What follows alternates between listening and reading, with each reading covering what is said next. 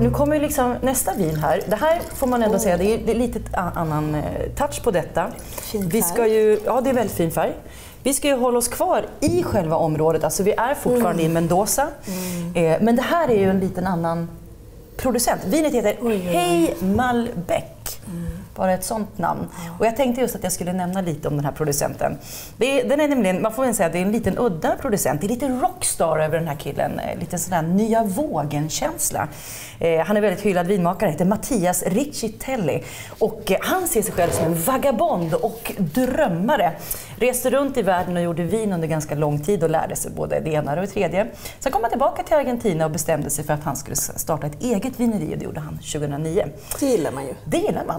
Han har en väldigt, väldigt känd pappa som heter Jorge som eh, är otroligt berömd och som också har blivit Winemaker of the Year också för Wine Enthusiast, eh, jag tror att det var 2012. Så det är väldigt, väldigt litet, så här, hantverksmässigt vineri, väldigt unga kollegor. Alltså det finns liksom en ung vibe över hela det här vineriet och hela liksom, alltså alla som jobbar där. Så det känns, det känns väldigt liksom, nytt och Ser fräscht. lite på etiketten. Man ser, Som- precis, man ser på etiketten att det känns ungt och fräscht. Eh, man både köper in och så odlar man också faktiskt egna druvor. Han gör även eh, viner, ett, eh, viner på gamla rankor ska jag säga, även om det här inte är just ett sånt, som heter Old Vines of eh, Patagonia. Så han gör vin i absolut södraste delen också. Eh, känner du till den här producenten innan? Ja, jag har druckit både Ja. hans viner och Jorges, Pappas viner? pappans Ja. också.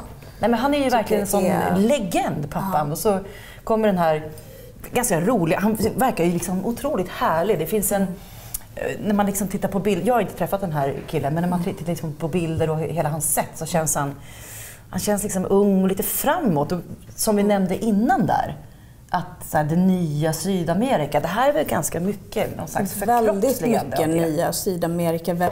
Jag hittar inte ens en liten aning av fat i den här till exempel. Nej. Det är väldigt mycket Det här är, det här är frukt och det ja. känns som att det har mer släktskap med den här nya vågen av vinmakare i Europa, Ja, och- USA. Och ja. även ska jag säga så här, Australien, Ja. Sydamerika. Alltså Sydafrika. riktiga Liksom, ja, Mm. förlåt, Sydafrika. Ja. Mycket, mycket fräschare och piggare stil.